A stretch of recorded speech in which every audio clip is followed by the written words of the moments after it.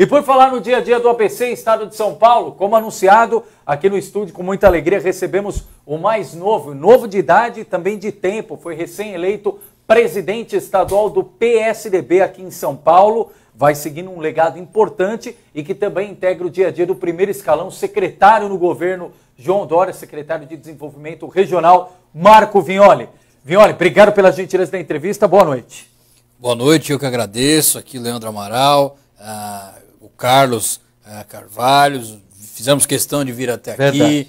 Uh, primeiro, na semana passada íamos fazer um encontro desses e, e, e acabamos muito atarefados no Palácio, mas fiz questão de vir porque eu conheço o jornalismo que vocês fazem, o seu jornalismo, o seu trabalho sério. Parabéns pelo canal, é um prazer estar aqui no ABC hoje. Legal, Vim. Olha, a gente que agradece a gentileza, recíproca e o, a região do ABC, que mais do que qualquer outra região, materializa esse que foi o grande é, protagonismo do PSDB nas eleições de 2016. Na atual configuração, é a primeira vez na história, Vinholi, que o ABC não tem nenhuma prefeitura comandada pelo PT e temos as maiores e principais prefeituras chefiadas por nomes gestores do PSDB. Santo André com Paulo Serra, São Bernardo com Orlando Morando, São Caetano com José Eurico Júnior e até outro dia mesmo Rio Grande da Serra era do Gabriel Maranhão, que agora foi para o Cidadania, ou seja, três das sete cidades chefiadas por nomes do PSDB. Mas desde a vitória de João Dória nas eleições do ano passado,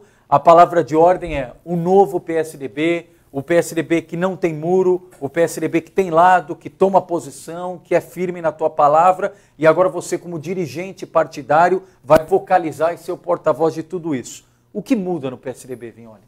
Olha, uh, primeiro uh, dizer que o PSDB aqui no ABC Paulista uh, tem um papel fundamental no momento que passa o país, no momento que passa o ABC como um todo, e uma grande responsabilidade. Responsabilidade essa que vem sendo bem sucedida pelos nossos prefeitos uh, e liderada pelo prefeito Orlando Morando uh, de São Bernardo do Campo, um grande trabalho uh, reconhecido por todos nós. Os prefeitos, de modo geral, vêm fazendo uma boa gestão nesse período, é um período fundamental para o ABC paulista.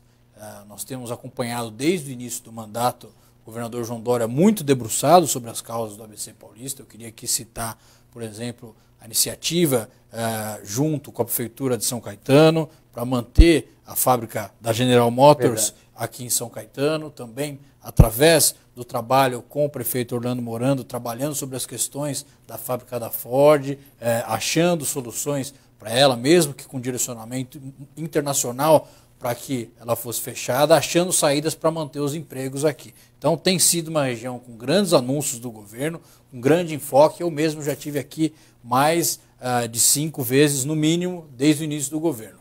Mas, puxando aí para o partido, nós estamos num momento fundamental da democracia brasileira, uma fragmentação dos partidos políticos, o PSDB como um ator central desde a redemocratização e agora com uma grande responsabilidade aqui no estado de São Paulo e no nosso país. O governador João Dória significando esse novo PSDB, o PSDB que se posiciona de forma mais clara na sociedade, que se posiciona como um partido de centro, equilibrado, contra os radicalismos de esquerda e de direita, mas que tem é, é, de forma muito enfática e contundente a defesa dos seus princípios. Princípios esses como uma economia liberal, uma economia que fez a gente que está aqui hoje ter um aparelho celular uh, que possa dar acesso à pessoa uh, mais humilde do estado de São Paulo, a mais rica.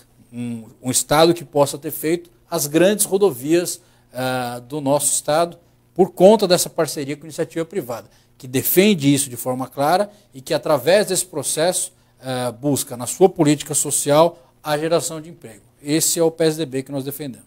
Aliás, até aproveitar, na semana passada, e quero já agradecer aqui a Vanessa, o Márcio Canuto, pessoal do dia a dia do ABC que também fez questão de viabilizar essa agenda. Obrigado, Vanessa. Obrigado, Márcio. E na semana passada, Vinholi, a gente reproduziu aqui um vídeo é, do anúncio do governador João Dória liberando recursos. Até você, como secretário de Desenvolvimento Regional, vocalizou esse anúncio. E aqui do ABC, a cidade de Mauá foi contemplada, verba de 100 mil reais para o dia a dia da cidade, o que mostra é, aquilo que o Dória tinha dito desde a época da campanha de ser um governo municipalista e de atender aqui o dia a dia das cidades. Mesmo com um momento ainda de grande dúvida à, à espera da reforma da Previdência, É possível esperar com frequência essa liberação de recursos, principalmente do governo do Estado, Vinholi? Olha, é, você tocou muito bem nesse assunto.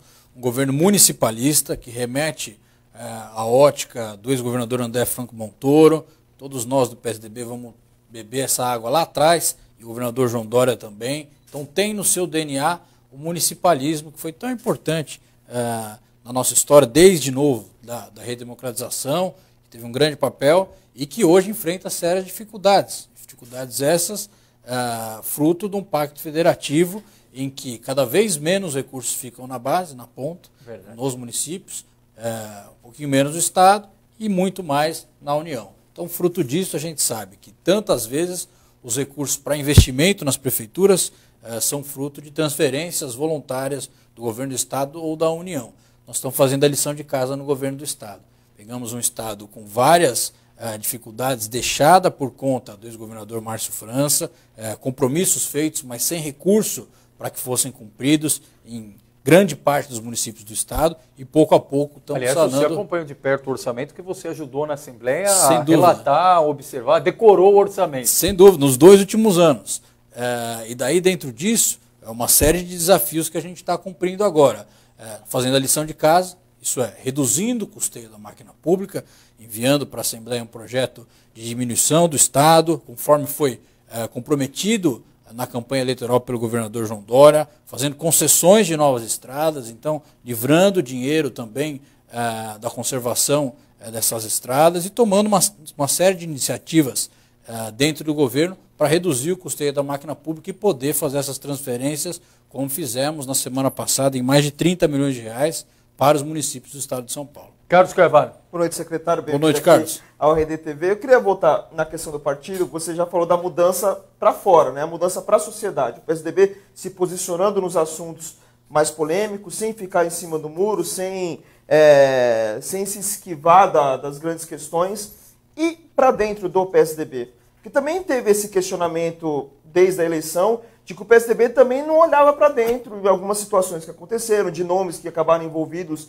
em situações polêmicas, é, não de acusação, mas de suspeita de corrupção, por exemplo.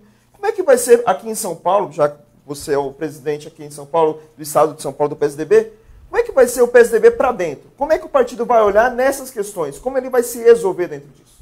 Olha, é, não é segredo nenhum que todas as estruturas partidárias do país têm uma distância enorme da sociedade hoje. Né? A gente não pode tapar o sol com a peneira.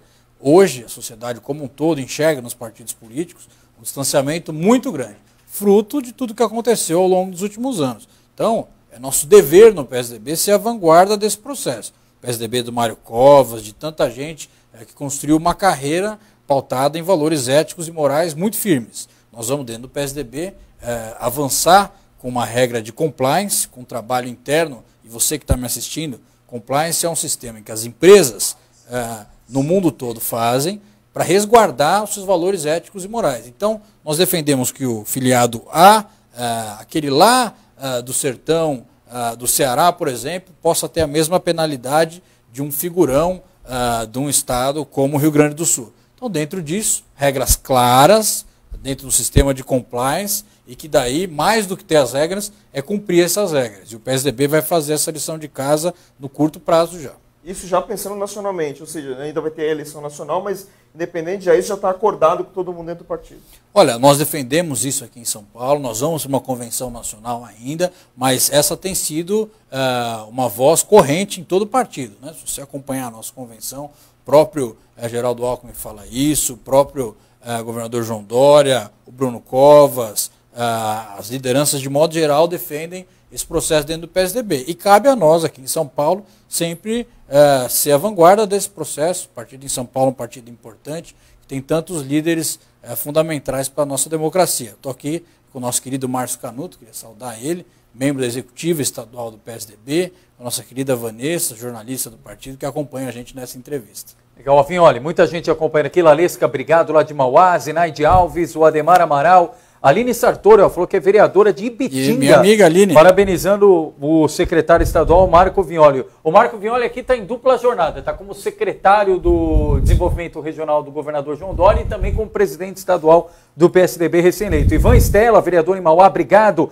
Tereza Fernandes, ó, o pessoal de fora também, ó, Ponta Grossa, Paraná, falou, tamo junto. A Scarlett Angelotti, aliás, ex-secretária de Educação da cidade de Mauá, obrigado, Scarlett, Antônio Belda, Silmara Mourão, a gente vai atualizando aqui com o pessoal. E, Vinholi, de imediato, tem alguma coisa, alguma ação que o filiado do PSDB já vai sentir na prática essa mudança, esse PSDB mais contundente nas suas posições? Sem dúvida. Começamos já é, na segunda passada.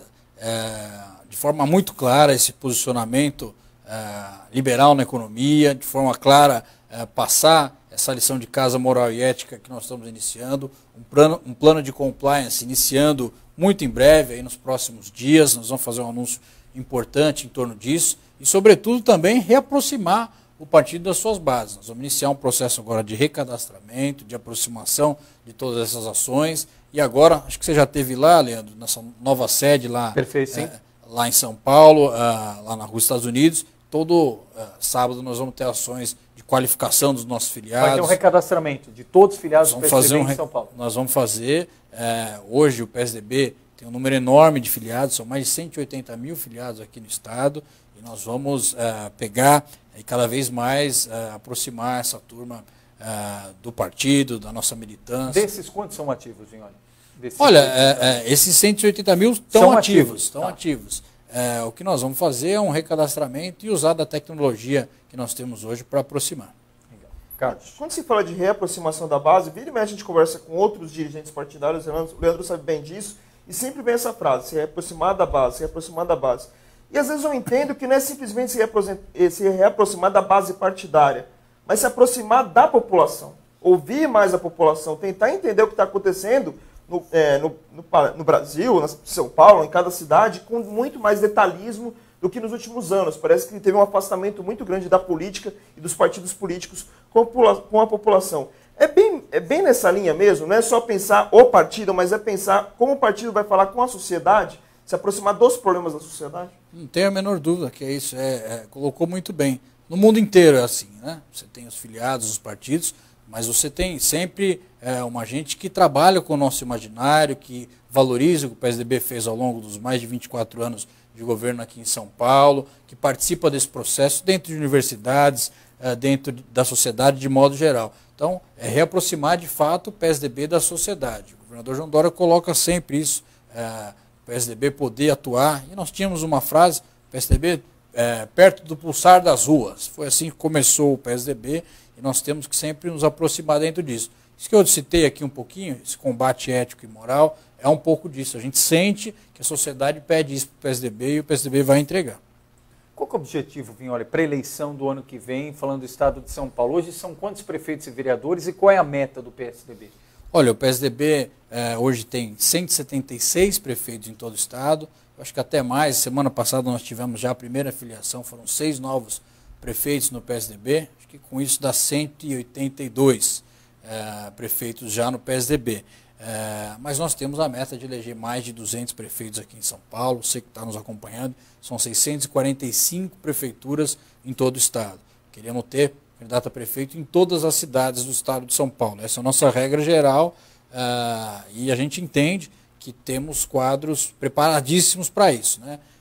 Temos pessoas que têm feito um grande mandato, muitos jovens entrando no partido também para serem candidatos nas suas cidades, mulheres, e através desse processo nós vamos eleger mais de 200 prefeitos aqui no estado. Hoje, mais de 1.100 vereadores também, um grande time, estado afora, vereadores valorosos, e nós queremos repetir esse número. Objetivo aqui no ABC ter candidatura nas sete cidades? O objetivo é ter nas sete cidades. Esse trabalho vem sendo coordenado aqui pelo Márcio, mas também pela nossa líder, a Carla Morando, que faz um grande trabalho lá na Assembleia Legislativa de São Paulo. PSDB tem possibilidade de mudar de nome, independentemente da possibilidade. O presidente estadual, o governador João Dória, defendem a mudança de nome do PSDB? Olha, uh, dizer. Uh, eu não estou fechado uh, em, em, cima de dogmas que, que possam proibir e coibir avanços dentro do PSDB. O PSDB é um partido de gente pensante, uh, gente conectada uh, com o país, que também tem a responsabilidade de ser, assim como foi lá atrás, quando iniciou todo esse processo uh, dentro do país, de lei de responsabilidade fiscal, de privatizações, de agências reguladoras, fez tanta modernidade, tem a obrigação de continuar sendo a vanguarda e fazer isso nesse momento. Então, dentro disso, desse conceito de ouvir a sociedade como um todo, de se aproximar de novos temas, de não ter medo de ter novas posições em cima de temas do dia a dia da sociedade, eu estou aberto a tudo isso. o centro desse debate é justamente é, quando você ouve as nossas principais lideranças falando, é, nós temos é, pontos de convergência, e em cima desses pontos de convergência nós vamos avançar. De alguma, de alguma forma, o PSDB também já está olhando o histórico recente aqui na região do ABC. Como eu digo histórico recente, teve a Onda Azul de 2016, quatro prefeitos aqui na região, mas se você olhar bem, todos os prefeitos que foram eleitos, de algum modo tinham uma ligação com Dória. De algum modo. Foi a Onda Azul. A Onda Azul, literal. Como já disse o Leandro, foi a primeira vez desde que o PT nasceu que não houve, não teve uma eleição de um prefeito, pelo menos petista, aqui na região. E em 2018 já foi um pouco diferente, uma diferença de um pouco menos de 30 mil votos, uma diferença pequena para qualquer eleição, o Márcio França acabou tendo mais votos que o Dória, que imaginávamos que teria uma grande votação, levando em conta a onda azul de 2016. Vocês levam em conta esse histórico para saber qual foi o grande acerto de 2016, qual foi o grande erro de 2018, erro entre aspas, porque o Dória foi eleito governador, então tinha que colocar bem entre aspas. Claro. Qual, foi, a, qual foi a diferença para que em 2020 não se repita os erros e se evidencie mais os acertos do partido na hora da eleição? Claro. Bom, primeiro eu quero lembrar justamente isso é, o PSDB tem o governador do estado de São Paulo, avançou com isso, tem o prefeito da capital de São Paulo, os prefeitos aqui no ABC bem avaliados, citei o Orlando, mas citar também o Paulo Serra e outras lideranças que têm feito um trabalho importante para cá. Então, nosso grande ativo é ter bons, boas gestões, bons gestores, ser um partido de posições na sociedade. O governador João Dória vem fazendo um governo bem avaliado, pouco mais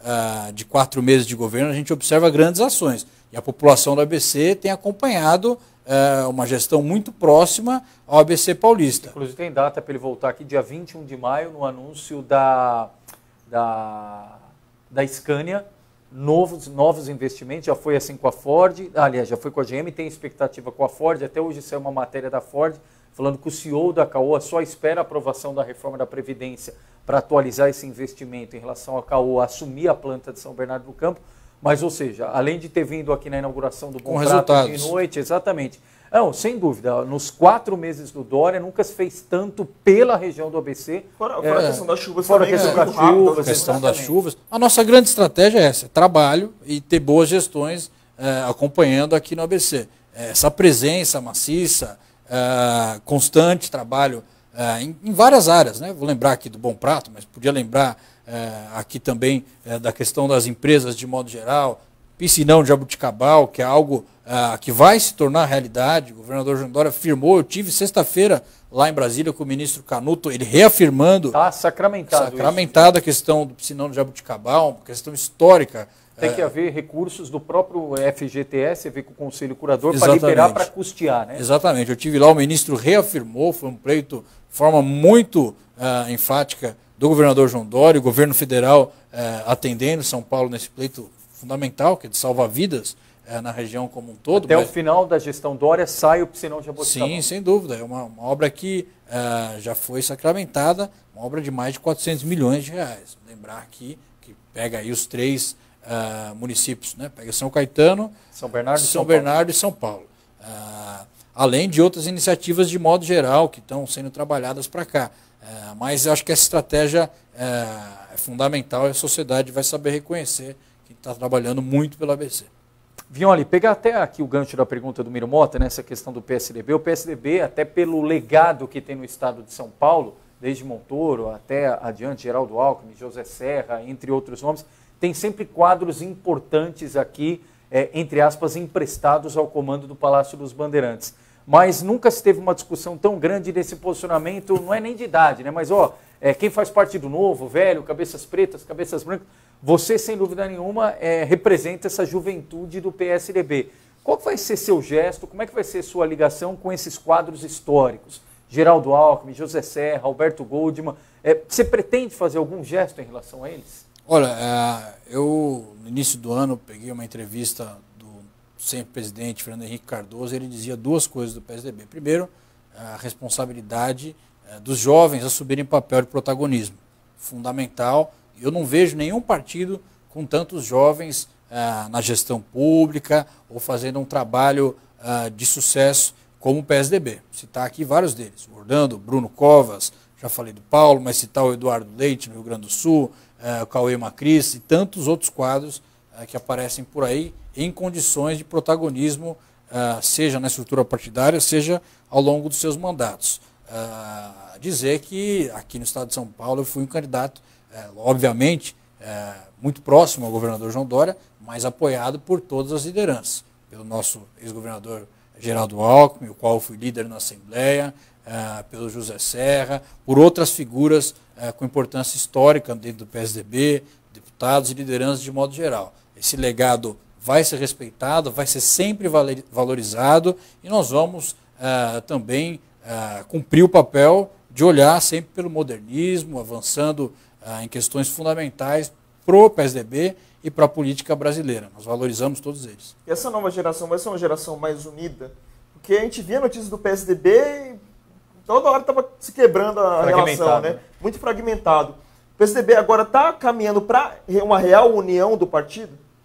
Olha, é, o PSDB é um partido de quadros importantes, de quadros com protagonismo na sociedade de modo geral, e isso deve ser valorizado. Sempre que você tem quadros desse valor, é, como o PSDB tem, e daí eu estou dizendo de pessoas, é, governadores do estado de São Paulo, senadores, pessoas que representam uma parcela significativa da sociedade. É salutar que cada um tenha a sua opinião sobre as coisas. O PSDB é um partido de pessoas, de cabeças pensantes, vamos chamar assim, mas é fundamental sempre achar a sua convergência. É, eu zelo muito pela unidade, vou trabalhar o tempo todo essa unidade, que é fundamental e foi responsável por importantes avanços aqui no Estado. Eu não tenho a menor dúvida, essa geração é, que vem chegando tem que cumprir esse papel e vai cumprir. Agora, Vinho ali, estou aqui atualizando até as participações. Obrigado aqui a Silvia Leite, Fátima Zanella, Marcos Costa, o Sandro Mastelari, Posicionamento firme, essa é a cara do novo PSDB. Parabéns, presidente Marco Vignoli, Cecília Cabral, o Ricardo Torres, que presidiu o PSDB aqui em Santo André. Um abraço, Ricardo Oi, Torres. Ricardinho. Aí também o Alan Duarte. É, ah, o Alan Duarte resgatando é, sobre essa questão da privatização. Esse ponto é importante, Vignoli. Eu queria também extrair a claro. tua avaliação. É, porque o PSDB sempre defendeu, mas defendia de uma forma tímida. Agora, de uma forma é, explícita, o João Dória tem falado Nesse momento, inclusive, está em Nova York. Divulgamos o vídeo hoje pela manhã, ele fazendo reuniões lá com o Departamento de Polícia de Nova York, logo depois fazendo reunião com empresários para atrair investimentos aqui, é, verba, recursos do estrangeiro para o estado de São Paulo. O PSDB vai assumir de vez essa questão da, da, da política positiva das privatizações? Olha, um ponto fundamental. É, o PSDB é o partido das privatizações do Brasil e no estado de São Paulo. É, o que fez esses avanços aqui. É, eu me lembro quando eu estava no movimento estudantil, um pouco mais jovem, é, na época o Fernando Henrique Cardoso tinha lançado o início de um projeto que usava as universidades privadas, através de financiamento público, para que pudesse ter mais estudantes na universidade privada. E daí, naquela época, o PT, é, completamente contrário, chamava de tubarões do ensino. E era contrário ao que veio se tornar o ProUni na sequência, e que é, através desse programa, teve tanta gente entrando na universidade. Então, eu acho que o PSDB tem a responsabilidade de defender uh, esse legado tão importante e olhar para o futuro. Está comprovado uh, os grandes avanços que as privatizações tiveram no país, seja aqui no estado de São Paulo, com as rodovias, PPP de hospital, tão importantes uh, para a gente ter hoje aqui no nosso estado, as concessões que fizeram o Brasil moderno em todo o país. PSDB é o partido das privatizações no nosso país. Sobretudo, o partido que sabe fazer as privatizações e faz bem feito, como fez ao longo da sua história, e agora com o governador João Dória com muita contundência. Vocês acompanharam ele em Nova York, está lá buscando investidores para poder viabilizar em um período de tanta dificuldade uh, de recursos para investimentos, a gente poder ter aqui em São Paulo investimentos robustos nas áreas de infraestrutura. Ah, Vinholi, a gente relatava aqui um pouquinho antes de você chegar, amanhã vai ter reunião, como acontece todos os meses, início do mês, dos prefeitos aqui através do consórcio intermunicipal Grande ABC e o consórcio, sem dúvida alguma, dialoga com o governo do estado através da sua secretaria que é de desenvolvimento regional. Como é que vai ser? Como é que você vislumbra essa articulação, esse diálogo, esse canal de comunicação? Obviamente, tem as demandas que são particulares de cada município, de cada prefeito, dos seis deputados que representam a região do ABC, em especial dos três que integram a base do governador João Dória. Mas como é que você vislumbra esse, essa interlocução secretaria e consórcio intermunicipal? Olha, uh, nós tivemos um contato muito forte na ocasião, de fato, das enchentes do começo do ano, né? Tiveram lá várias vezes os prefeitos, a gente dialogou em torno de soluções importantes. Eu acho que o consórcio uh, é um modelo fundamental para compartilhar soluções e aqui a região tem como um todo características muito semelhantes. Uh, nós estamos fazemos parte aqui da região metropolitana de São Paulo, que é a maior do país. Nós temos uma organização para isso uh, hoje aqui no estado de São Paulo, em torno das regiões metropolitanas, e daí somando a isso os consórcios. Os consórcios eles têm instrumentos importantes, acabou de ser aprovado em Brasília, por exemplo, no Tesouro Nacional, no passado no Senado, mas agora no Tesouro, possibilidade de financiamentos para consórcios. Então, cada vez mais a gente vai tendo instrumentos para poder atuar de forma compartilhada. Então nós vamos sempre ouvir os consórcios aqui, tem um peso importante, já mostrou o seu valor eh, através eh, desse primeiro embate em torno eh, das enchentes aqui da região e será sempre ouvido pela importância que tem.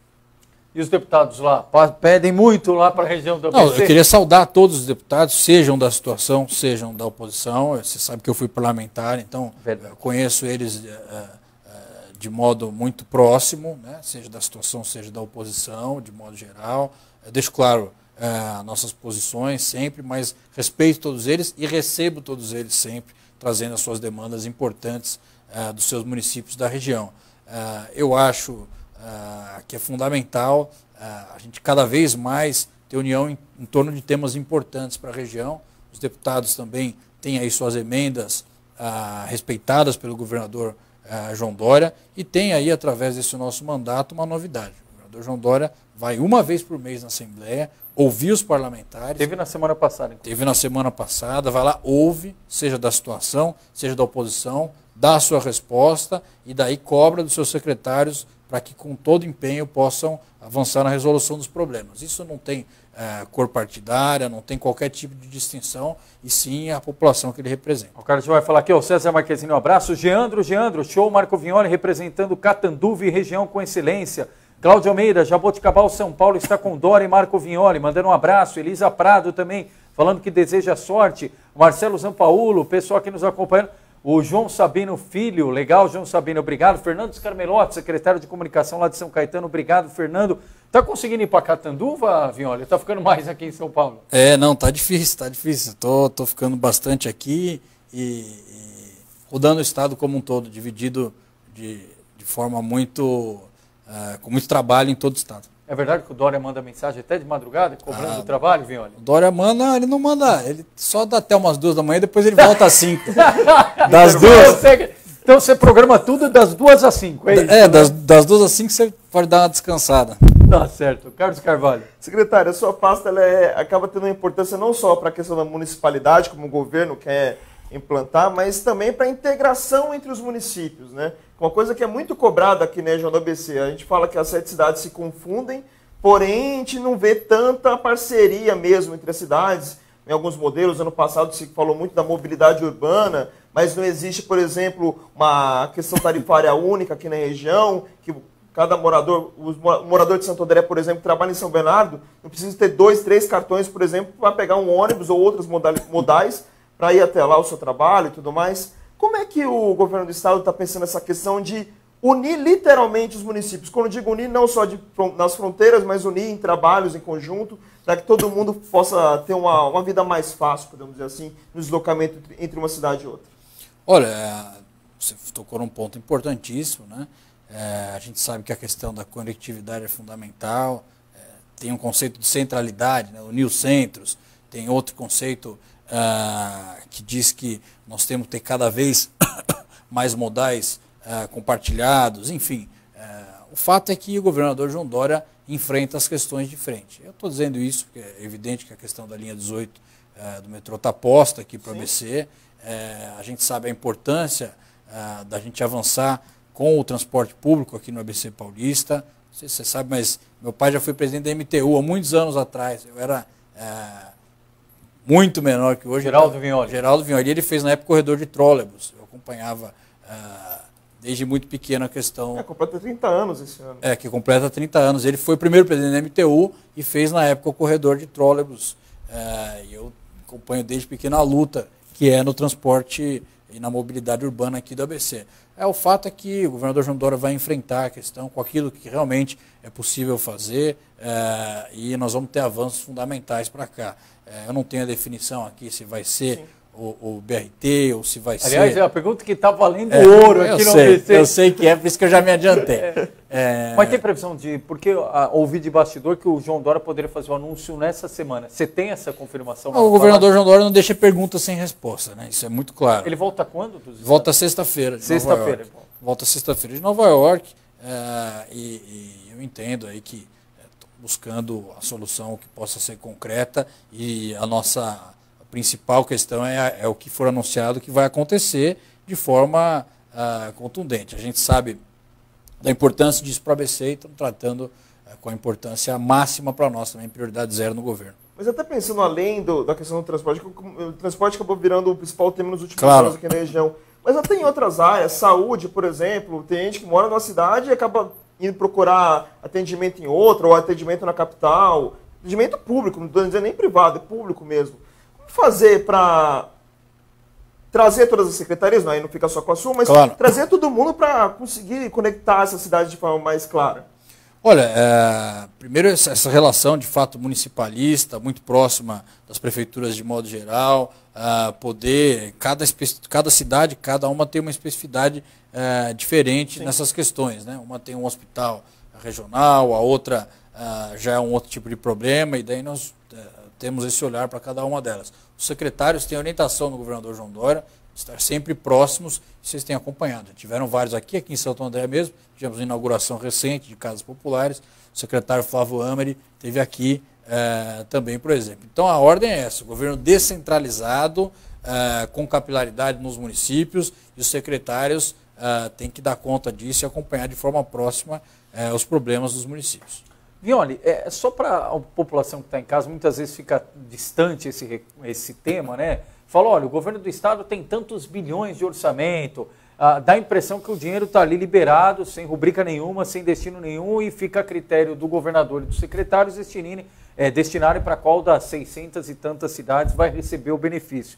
E ao mesmo tempo houve, ó, se não aprovar a reforma da Previdência, nós vamos ter problema, vamos ter gasto. Hoje eu acabei de citar aqui o próprio executivo da CAOA falando que se não tiver aprovação da reforma, não tem compra da unidade da Ford em São Bernardo do Campo. Você que está no dia a dia da gestão, qual é o impacto para o governo Dória e para os recursos do governo do estado de São Paulo em caso de uma demora ou não aprovação da reforma da Previdência? Bom, vamos lá.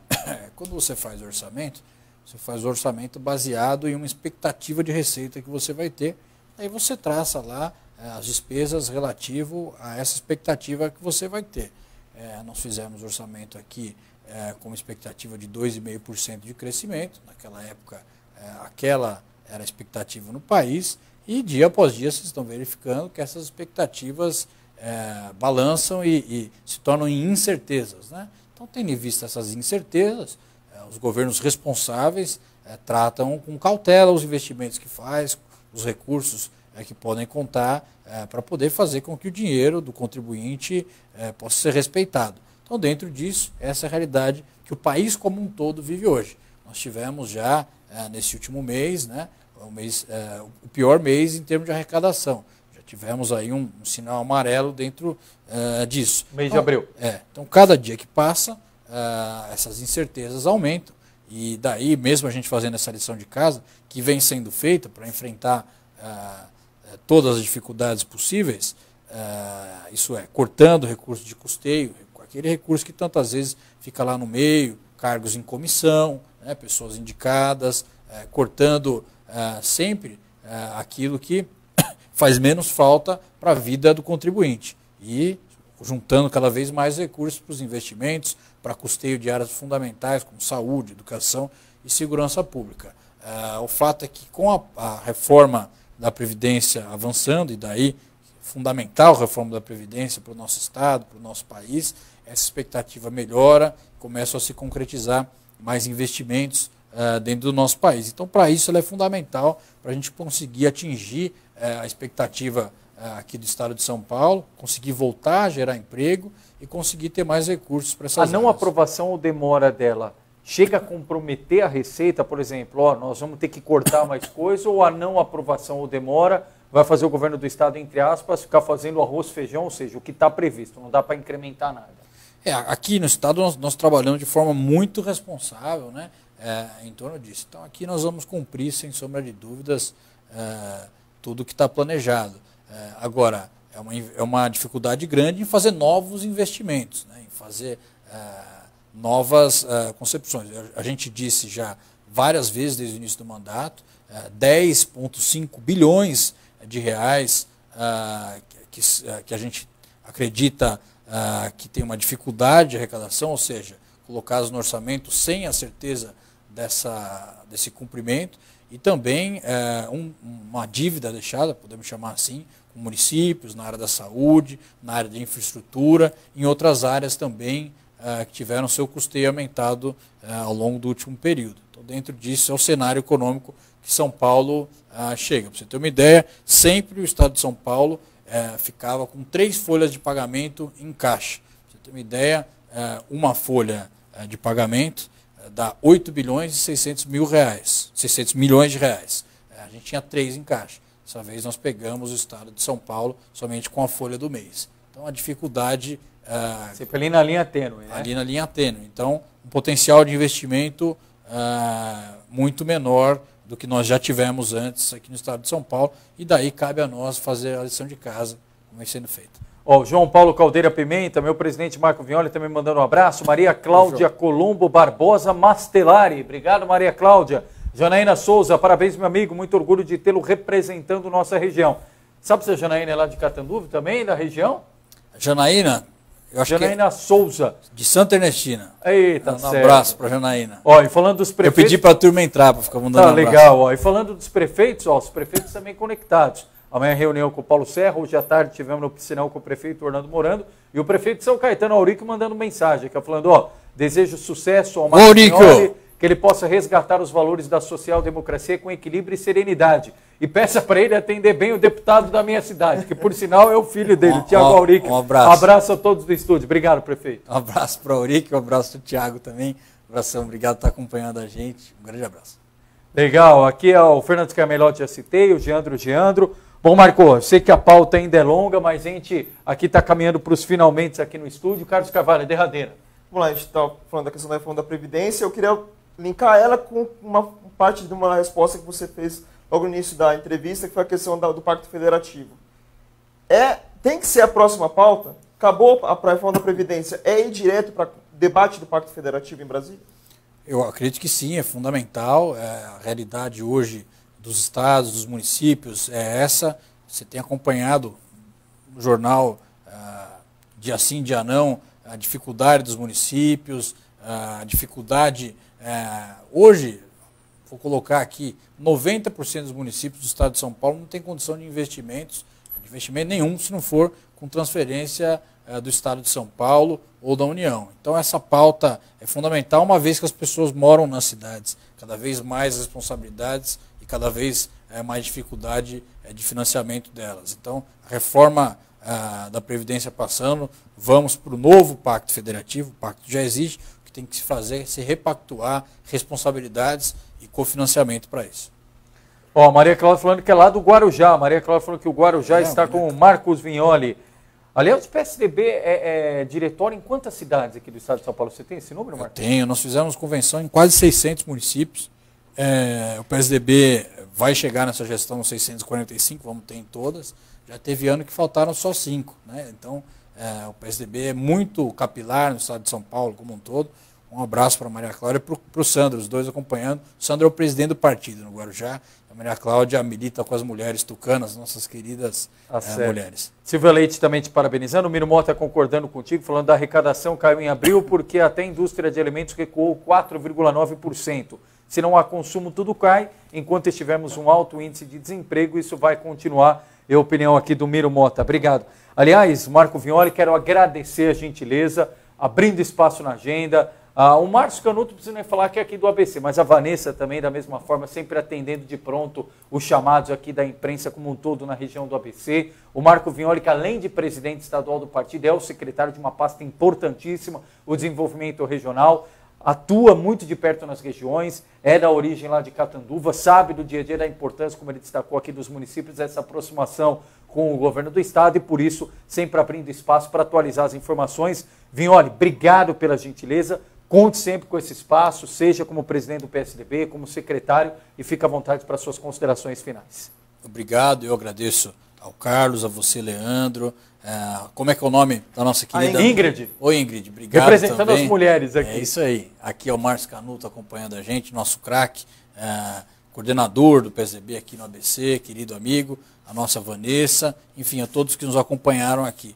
É, parabéns pelo jornalismo sério, sempre informativo, sempre passando para as pessoas do ABC Paulista notícias quentes. E eu faço questão de ficar à disposição de vocês sempre aqui deixar um abraço em nome do governador João Dória, que não tem medido esforço pelo ABC Paulista. Um grande abraço a todos vocês.